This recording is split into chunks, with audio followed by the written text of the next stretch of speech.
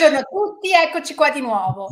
Eh, oggi abbiamo uno, uno stimolo carino, eh, un ragazzo che ci scrive questa cosa qui che vi leggo, bla bla sono, ciao, presentazione, eccetera. La domanda è, prima di essere invasi gli hawaiani erano all'apice dell'armonia, della felicità, della connessione su tutto, compreso natura, cose e animali.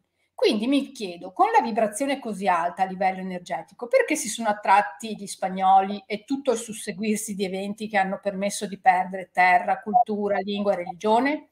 Ecco, questa è la domanda di Alessio che appunto ci scrive. E io eh, molto sinteticamente, eh, riservandomi appunto con, con Rudy e Francesca di fare un'analisi un po' più approfondita, gli ho risposto eh, telegraficamente così. Questa stessa domanda l'ha posta una ragazza alla sua nonna Kanaka Maoli, nativa hawaiana, e la risposta è stata più o meno eh, solo in questo modo la cultura hawaiana e la sua saggezza hanno potuto espandersi in tutto il mondo e le braccia di Aloha abbracciare tutti coloro che vogliono far parte di questa Awana. Ed è una risposta che mi piace molto. Poi concludevo, in quanto allo spunto di riflessione per un video, domani mi incontro con Rudy e Francesca e lo propongo. E quindi l'abbiamo, l'abbiamo valutato e abbiamo deciso che può essere un, un bel tema. Adesso non mi ricordavo esattamente i termini di questa risposta, però mi ricordo proprio che era una Kauna che parlava con la sua nipote, però sapete che eh, non è detto che sia di sangue. Eh, esatto, sono maestri, discepoli, eccetera, ma proprio gli, le, le, dava questa risposta, cioè le diceva questa è una grande opportunità per l'umanità, perché noi abbiamo una cultura eh, che può essere risolutiva in tantissimi ambiti, però gli hawaiani sono pochi, me, me la ricordo proprio bene questa cosa, cavolo, non mi ricordo chi l'ha detto, però me la ricordo proprio bene. E, e lei diceva, gli hawaiani sono pochi e in, in pochi si fa poco. La vita eh, probabilmente ha visto anche nelle disgrazie che sono capitate al popolo hawaiano, perché il popolo hawaiano ha una storia tragica di tutto rispetto, ha visto l'opportunità e ha, e ha dato anche al popolo hawaiano gli strumenti per sviluppare questa, questa opportunità di portare determinate consapevolezze in tutto il mondo.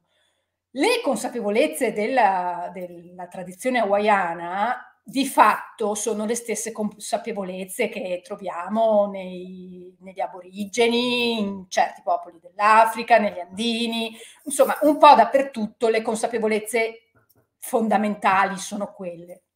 La cosa bella della cultura hawaiana e forse un po' anche la motivazione che, che ci ha portato a innamorarci, almeno noi tre, di, questo, di, questi, di questi insegnamenti, è proprio la semplicità, il fatto che eh, sia così diretta e libera da sovrastrutture. Ecco, eh, la storia della tradizione hawaiana è proprio quello che ha permesso alla saggezza hawaiana di sopravvivere al, a, agli eventi in maniera diretta, semplice e immediata. E infatti gli insegnamenti della cultura hawaiana, sono diretti, sono semplici, non hanno fronzoli, non hanno sovrastrutture, non hanno niente di quello che non serve.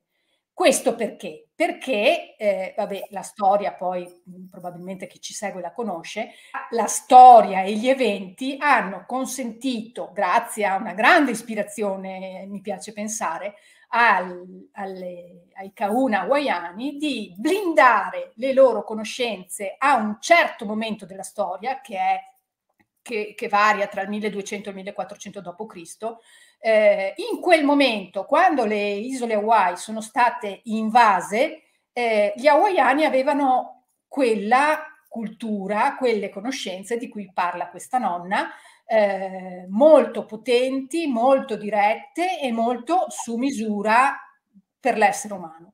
Tuttavia sono stati invasi. Questo no, perché erano cattivi, brutti e, e si meritavano di essere bastonati ma probabilmente proprio perché avevano un qualcosa che serviva all'umanità.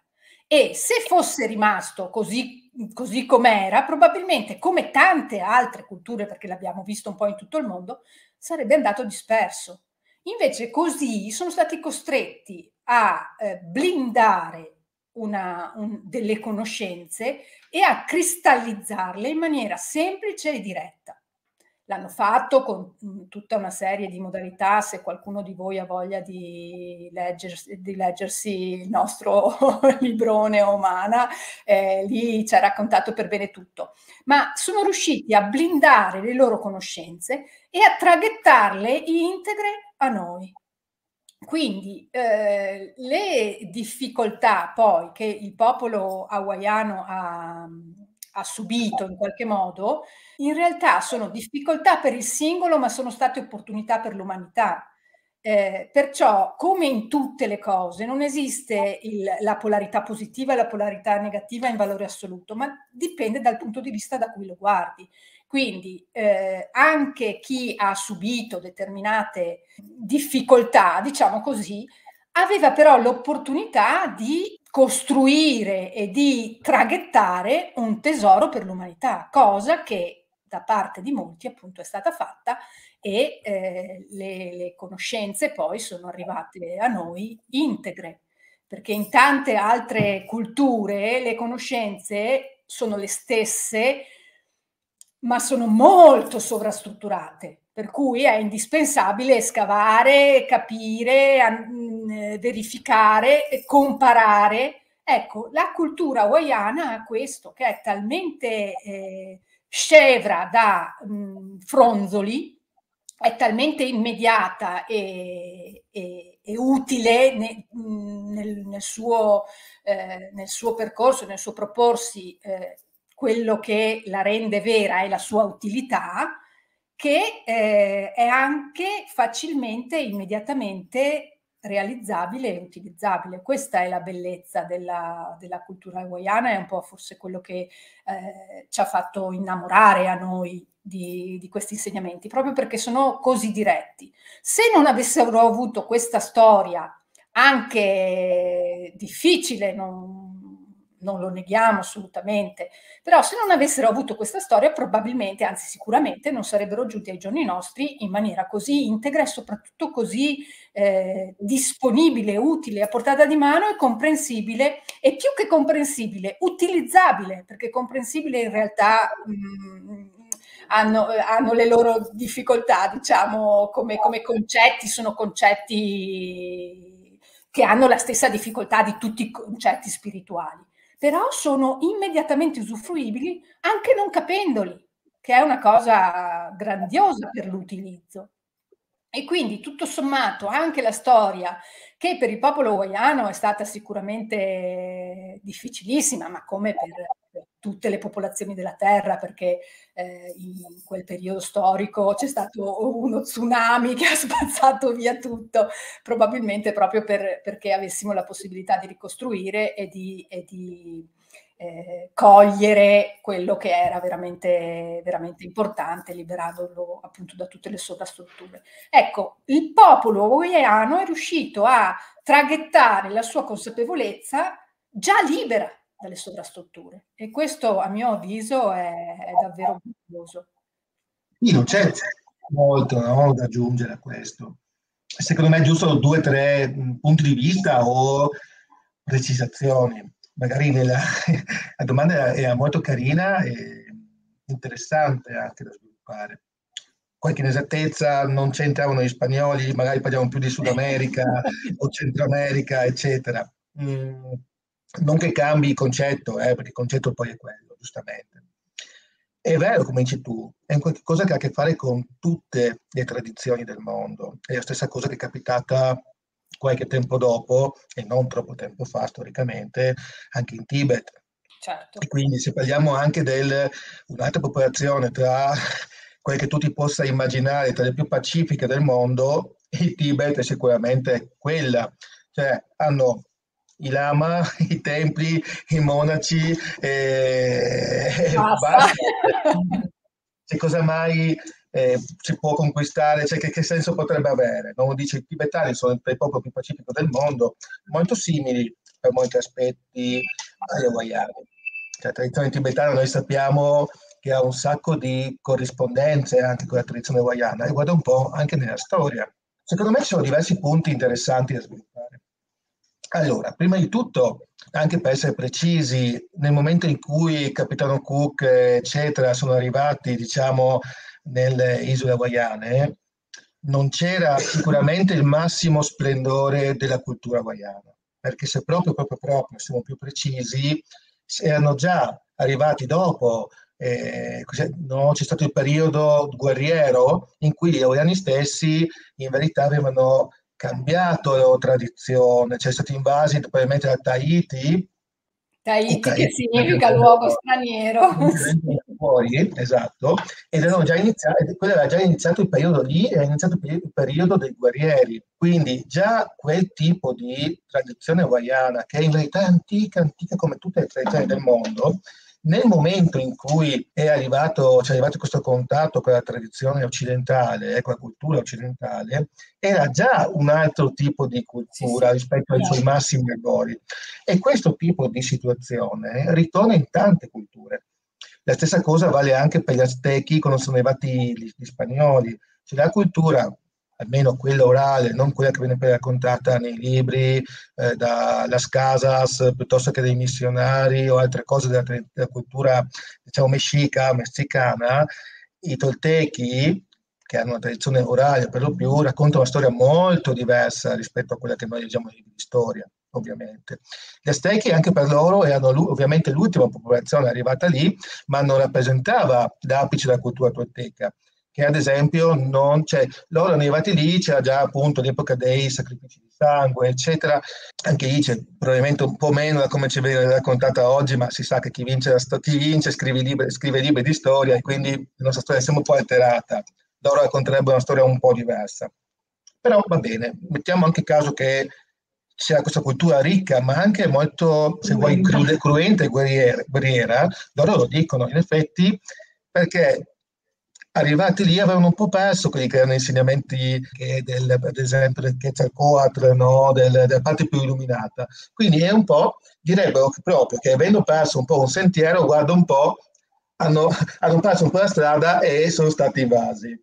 Non a caso. Ed è una cosa, se, se guardi, c'è un parallelismo anche con la tradizione mariana in verità. Assolutamente, Quindi, assolutamente, anche perché molto, noi molto, facciamo molto riferimento sì. con gli insegnamenti di cui parliamo noi, noi facciamo riferimento agli insegnamenti precedenti al 1200, non esatto. al 1800. La stessa cosa che, direbbe, che si direbbe anche in quella tradizione lì. Quindi guarda un po', c'è una sorta di ciclo che va a ripetersi. E quasi quasi, mm, uno potrebbe dire, quindi c'è stata anche una perdita di un certo tipo di tradizione, un po' come succede tante, come succede anche precedentemente anche nelle culture che noi conosciamo. Anche gli egiziani hanno avuto un apice e sono stati invasi poi dai romani nella parte finale, se vuoi, della loro, della loro cultura, che era, aveva 4.000 anni. Però le cose più belle avevano fatto 2.000 anni prima, paradossalmente. Quindi certo. Ma se guardiamo anche la nostra cultura cristiana è andata così, perché dal, certo.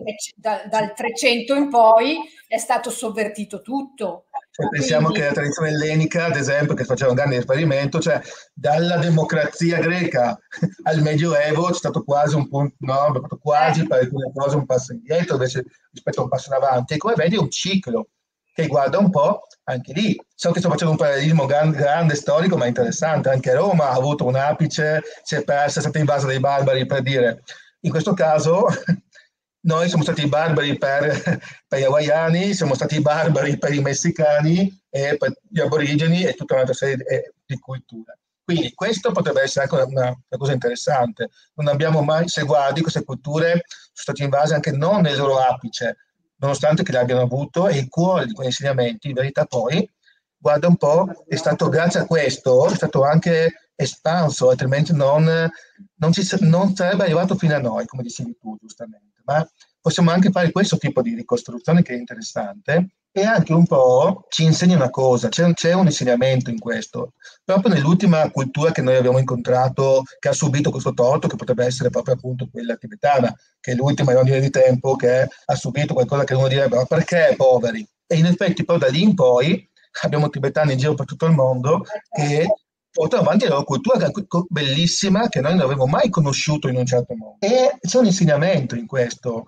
Molto spesso queste culture, vedi, chi pensa in generale di poter chiudersi in un contenitore e proteggersi e isolarsi dal mondo attraverso una sorta di bolla, mm, comprende che non, non può essere fatto così. Cioè, tutto ciò che è vivo deve muoversi e cambiare e mutare come, cambia le, le, come cambiano i soli, le aree, i cicli, le società. Perché se pensi di poter costruire qualcosa sopra e chiuderti dal resto del mondo non è possibile mondo, l'universo non te lo permette perché non è possibile. Nella non è possibile. Anche se ti chiudi, pensa, questi qua sono nei posti, nelle montagne più alte del mondo, no? Himalaya, eccetera, e anche lì troverai chi viene, chi viene, chi viene a romperti le scatole. Ma, pensa, ma, pensa, agli hawaiani che sono nel centro del Pacifico, in queste esatto, quattro isolette grandi come un arancio, e nonostante quello... La domanda è questa, ma, ma, ti pensi mai che uno deve venire fino a questo buco di isola a rompermi le scatole a me che ho solo le palme e le banane e, e sto bene così? Sì, certo, no? sì, perché, perché sì. E invece sì, perché l'umanità, come eh, io vi ho conosciuto, i Gendai Reiki che, che cavalcavano questo concetto, l'umanità è una. E esatto. ogni popolazione è una parte dell'umanità, quindi isolarsi è come, è come, mi taglio un dito così e lo metto dentro il congelatore così no, non è così che funziona. Esatto. Il Buddha, il Buddha aveva ben riassunto, la, no, la vita è un ponte e non puoi costruirci una casa sopra, perché se ci costruisci una casa sopra, avevamo già detto questa cosa in altri ambiti, ma è lo stesso concetto, avrai gente che vuoi che non vuoi ti andrà fur per fur, ti aprirà la porta e ti attraverserà la casa ogni giorno, non, la, non lo puoi, non puoi, costru- non puoi non si può bloccare la, la, la, coscienza, non si può bloccare la cultura, non si può bloccare una, una conoscenza, non, non, può essere presa e tenuta in un unico posto. Anche perché ognuno di noi, volenti o nolenti, siamo parti di un organismo. Esatto. Un organismo che tardi... se chiudiamo nella nostra casupola e va a finire che facciamo la muffa. Che presto tardi qualcuno viene a bussare alla porta ed è questo è inevitabile puoi solo fluire con, il, con, con questo flusso è come ogni tipo di tradizione, cultura, sopravvive chi è capace di confrontarsi, di chi poi questa cosa la porta fuori, perché altrimenti, non, non, altrimenti muore. E attraverso questo, se guardi, no, questa espansione che è inevitabile, tutti oggi abbiamo la possibilità di connetterci, di, di trovare delle connessioni, di conoscere altre realtà che sarebbe imposs- stato impossibile altrimenti. Certo, si poteva fare in altri modi? Sì, assolutamente. Possiamo sì, imparare da questo. Sì, no, nel senso, no. nel senso, io, tu, noi magari l'avremmo fatto con, in un altro modo perché abbiamo determinati valori, ma se è andata così vuol dire che quello esatto. era il modo più efficace per, per farlo fare. No, oggi abbiamo altri valori proprio grazie agli incontri esatto, con tante altre esatto. culture. Quindi ad oggi, certo che probabilmente faremo, forse, no, potremmo tutti ripensare, ma questo, questo, è lo scopo. Le cose che accadono sono, sono esattamente così, devono accadere esattamente nel modo in cui accadono. Possiamo imparare dalle cose, possiamo migliorare? Sì, certo, questo è lo scopo, perché se c'è un insegnamento, il karma non è circolare, il karma è, è, va a spirale, quindi alcuni schemi si ripetono, ma si possono sempre essere migliorabili, possiamo sempre vederli da una prospettiva più alta. Questo dovrebbe essere l'insegnamento. Quindi alcune situazioni tornano, ritornano, c'è, c'è un, una, una, cosa è certa, la vita è il movimento e il cambiamento. Certo. Quando siamo in grado di adattarci, e cambiare... Espansione, espansione l'obiettivo alla fine sarà quello di essere un'unica umanità, non... Esatto. Eh. Ricca di tutte le sue diversità, di cioè, miliardi di interpretazioni diverse di un'unica vita. Pensavo in una dimensione più piccola, no? mi è venuta in mente già dalla risposta di quella um, kahuna, non so perché mi è venuta in mente mia nonna, che a questo punto era una kahuna inconsapevole e che mi raccontava eh, per esempio della guerra. Ovviamente non è la stessa cosa, cioè mi rendo conto, però comunque si tratta di un avvenimento che riguarda una popolazione, se vogliamo così dire, o comunque più nazioni, e che mette effettivamente in crisi tutto un sistema. No? Lei non è che mh, mm, avesse mai elargito con me dei grandi insegnamenti mettendosi in cattedra, ma insomma eh, adesso metto insieme un po' diversi discorsi che lei faceva e da cui traggo insegnamenti. Quindi per tornare alla nostra cultura più popolare, eh, che sicuramente eh, comunque nasconde delle, delle, grosse verità a cui ognuno di noi può anche attingere. No?